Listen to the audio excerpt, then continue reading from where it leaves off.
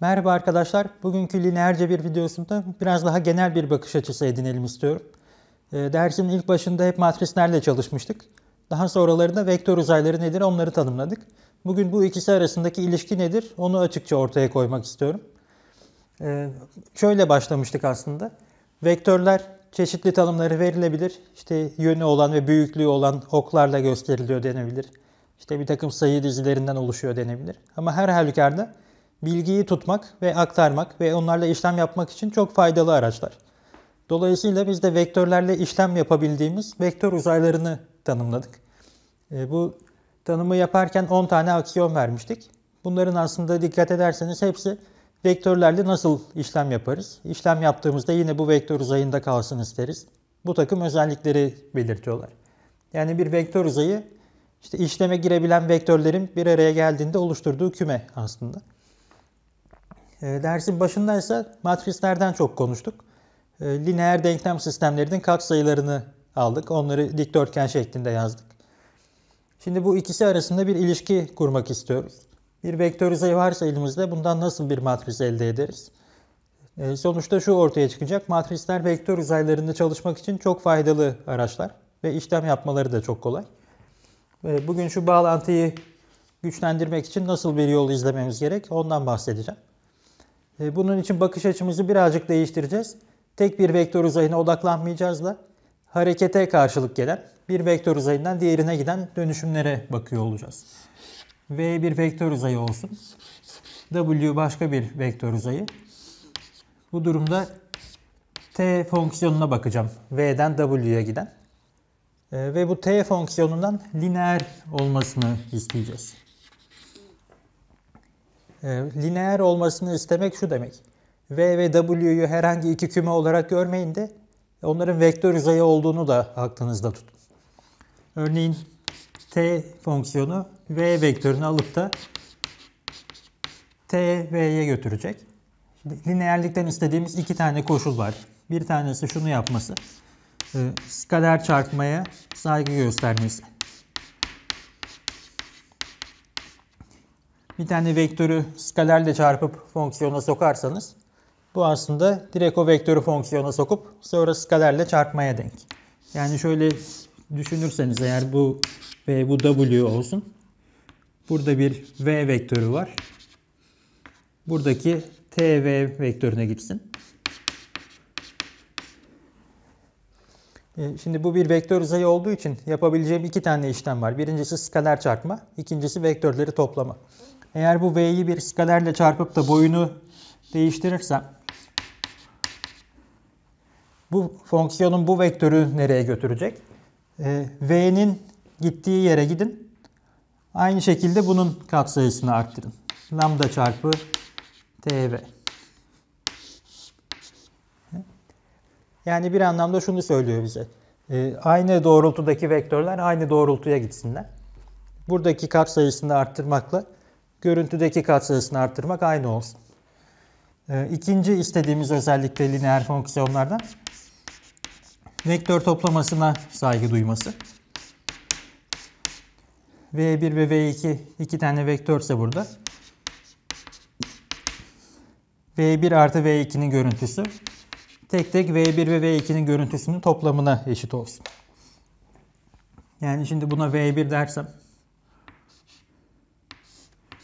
Buradan ikinci bir vektör alırsam V2. Onun da burada bir görüntüsü var diyelim. TV2. E, bu iki vektörün toplamını oluşturabiliriz burada. V1 artı V2. Şimdi fonksiyonum bunu nereye götürecek diye ayrıca endişelenmeme gerek yok. Eğer V1'in gittiği yeri biliyorsam ve 2'nin gittiği yeri biliyorsam bu ikisini toplayacağım burada.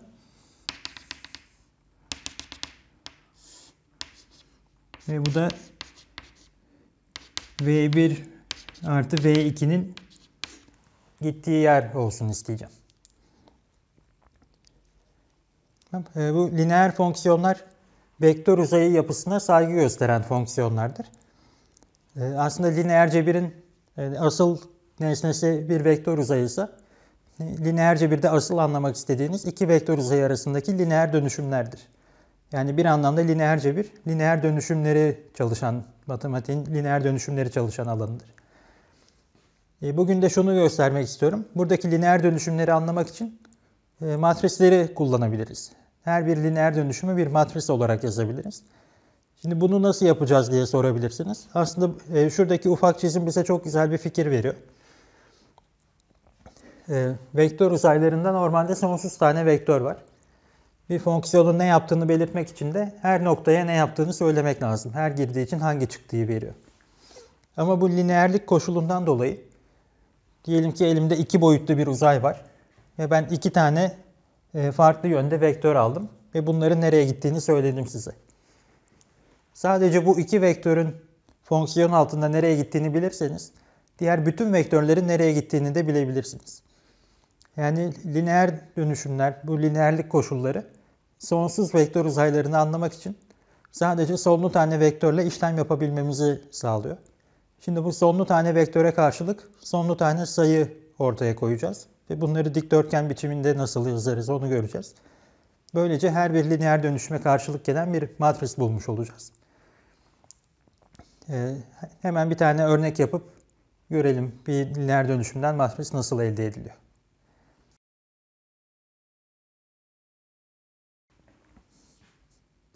Tamam, şimdi bir lineer dönüşümü matrise dönüştürmek için ilk önce bu sonsuz vektörün hangi sonlu tanesini alıp da çalışacağımıza karar vermemiz lazım.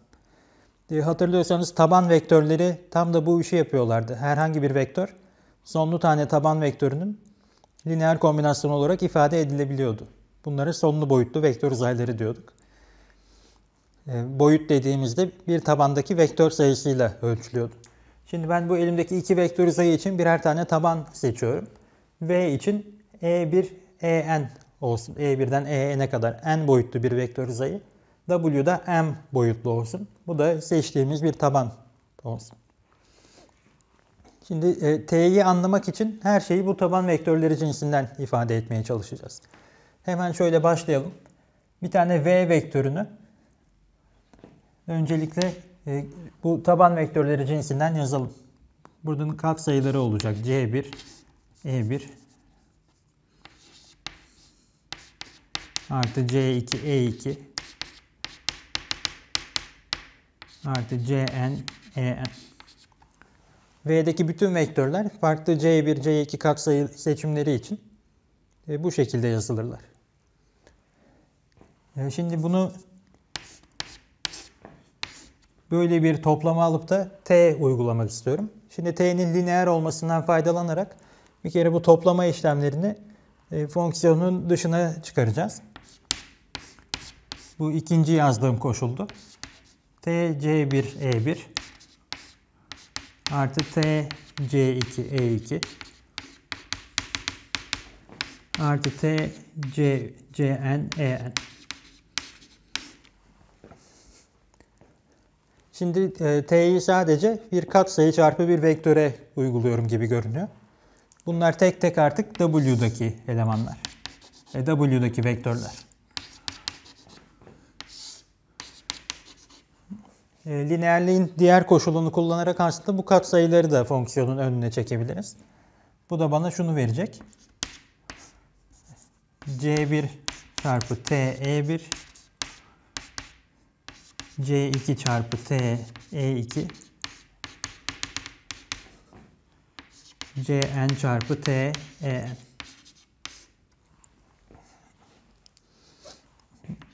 Şimdi bu vektörler hepsi W'dalar. Ve aslında bu yuvarlak içindeki vektörlerin bir lineer kombinasyonunu almış olduk. Bu fonksiyonun ne yaptığını anlamak için herhangi bir vektöre karşılık gelen katsayıları yazın. O katsayıları burada yerine koyun. Bu vektörler her neyse o katsayılarla lineer kombinasyonları size görüntüyü verecek. Şimdi bunlar sabit vektörler artık.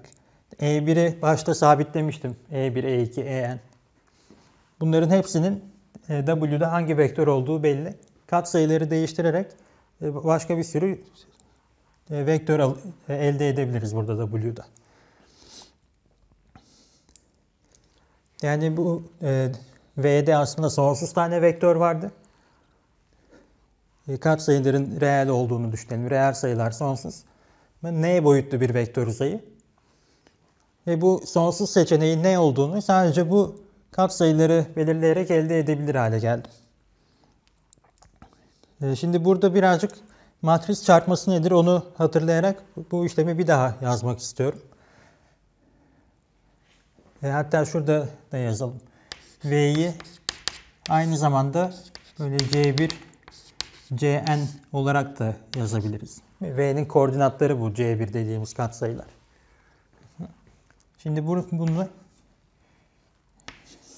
bir matris çarpı V vektörüne karşı V vektörü. V vektörünü de böyle koordinatlar olarak. Evet, Matris çarpmasında böyle bir sütunu alıp yan yatırıp da satırlarla çarpıyorduk. Şimdi bu satırların tek tek ne olduğunu bulmayacağım da aslında bu satırın pardon bu matrisin ilk sütununda direkt şu olmalı. Yeterince yer bırakmamış olabilirim kendime. TE1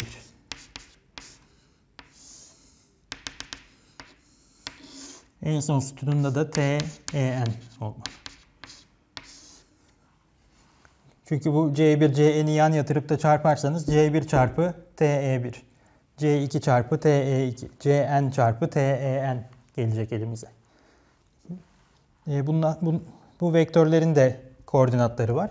Şimdi onları da bulmaya çalışacağız.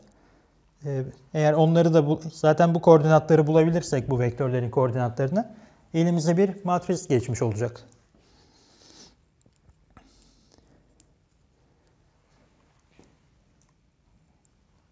E, Eşitliğin bu tarafından devam edeyim biraz da. Evet. Bu aslında T C1 Cn. T bu vektörü nereye götürüyor? E, bu matrisle bu vektörü çarpınca ne elde ediyorsak oraya götürüyor. Yani aslında bu T lineer dönüşümü bu girdi olan vektörünüzü bir matrisle çarpmaya karşılık gelecek. Ve bu matrise de kabaca şöyle gösterelim. T'ye karşılık gelen matris. Şimdi buradan en azından şunu görebiliyoruz. Bir şekilde bu vektörlerin tek tek koordinatlarını bulabilirsem eğer bunlar W'da birer vektör. Ee, Şimdi bu tabanı kullanırsam eğer bunların m tane koordinatı olacak. Eğer tek tek onları yazarsam elime geçecek şey n çarpı m'lik bir matris. Yani bir t lineer dönüşümü aslında n çarpı m'lik bir matrisle çarpmaya karşılık gelmesi lazım. Bu her lineer dönüşüm için geçerli. Şimdi deneyelim. T E1 bu W vektör uzayında olduğu için bu vektörlerle, bu taban vektörleriyle bunu ifade edebilirim. Mesela diyelim ki bu D1 F1 artı DM FM olsun. Buradaki D'ler katsayılar. Benzer şekilde TE2 için bir takım katsayılar bulacağım. Yine aynı taban vektörlerini kullanıyorum.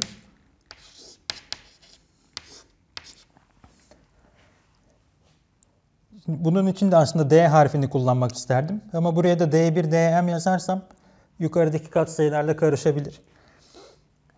O yüzden şöyle bir şey yapacağız. Bu E1'e karşılık gelen katsayılar olduğunu belirtmek için virgül 1 ekleyelim bunlara. Bunlar da D2 pardon D1 ama E2'ye karşılık geliyor. DM ve E2'ye karşılık geliyor.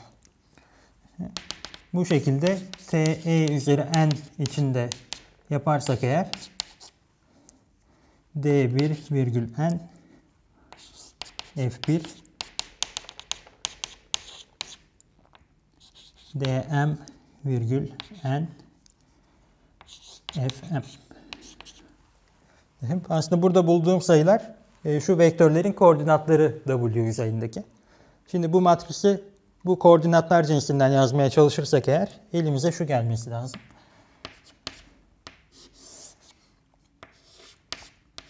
D11 D21 D2 pardon DM1 bu tarafa devam ediyoruz. D1 2 D 1 N DMN. Bu araları da böyle dolduruyoruz. Çarpı C1 CN.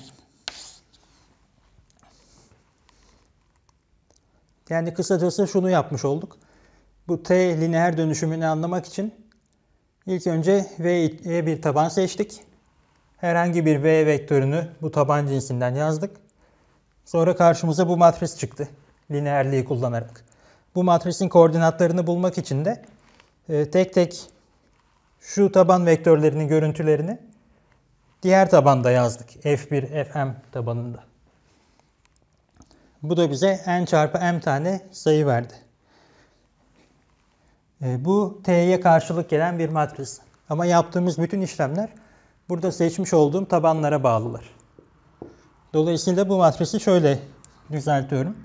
Bu aslında E1 En ve F1 Fm taban seçimine bağlı. Eğer bir şekilde hatta e, burada daha farklı bir kavram kullanıyorum. Bunlar sıralı tabanlar. Taban vektörleri normalde bir küme paranteziyle gösteriliyordu. Ben küme yerine normal parantez kullandım. Bu sıralamanın da önemi var demek. Eğer sıralamayı değiştirirseniz bu matristeki sütunların yerleri değişebilir. E1 ve E2'nin yerini değiştirirseniz ilk iki sütunun yeri değişecek. Yani ortaya daha farklı görünen bir matris çıkacak. İşte benzer şekilde F1 ile Fm'in herhangi birinin ikisinin yerini değiştirirseniz buradaki katsayıların yerleri değişecek. Buradaki satırlar değişmiş olacak.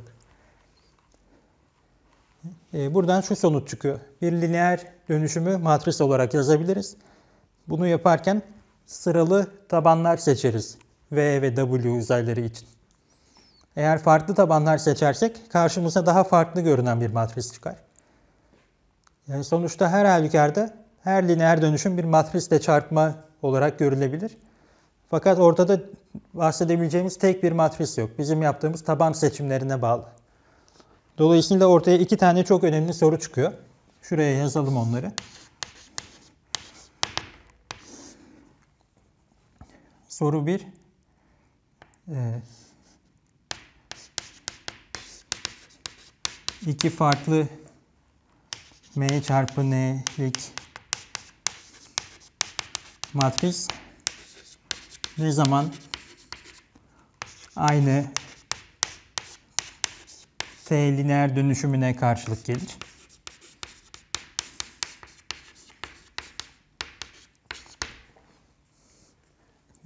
Ee, yani farklı tabanları seçmiş olabiliriz aynı lineer dönüşümü anlatmak için. Ee, bunun ayırdığını yapmak için matrislere bakarak bir, bir takım işlemler yapabilir miyiz? Ee, ikinci önemli sorumuz da şununla ilgili. Ben farklı tabanlar seçerek farklı matrisler elde edebiliyorum. Şimdi, e, bir sonraki aşamada bu t fonksiyonuyla işlemler yapmaya başlayacağız. Onları başka fonksiyonlarla bileşkesine alacağız. Şimdi t eğer v'den v'ye gidiyor olsaydı kendisiyle de bileşkesini alıp daha yüksek kuvvetlerine bakabilirdik. t kare, t küp gibi. Yani sonuçta bu matrislerle bir takım işlemler yapmamız gerekecek. Fonksiyonların bileşkesi bu matrisleri çarpmasına karşılık geliyordu.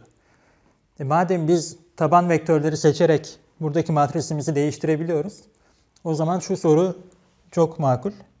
E, rahat işlem yapmak için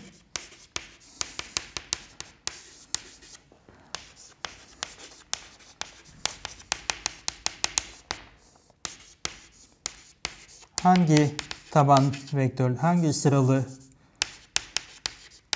tabanları seçmeliyiz. Tabanları seçmek faydalı olur.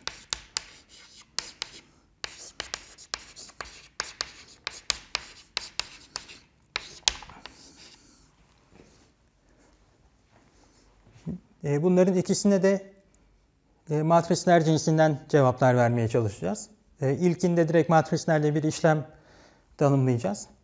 Öyle ki o işlem altında aynı olan iki matris aslında aynı lineer dönüşüme karşılık gelecek. İkincisi de e, hangi tabanları seçersem daha rahat işlem yaparım. Burada hangi matrislerle daha kolay işlem yapıldığını düşünmek gerekiyor. Eğer elimizde kare matrisler varsa en rahat işlemi direkt diagonal matrislerle yaparız. O yüzden bu vektör uzayları ve lineer cebirde diagonalleştirme, köşegenleştirme diye bir bölüm vardır. E, tam olarak bu soruyu cevaplamak için taban vektörlerini nasıl seçmemiz lazım onu anlatır bize. E, sıradaki videolarda bunlarla devam etmek istiyorum. Dinlediğiniz için çok teşekkürler.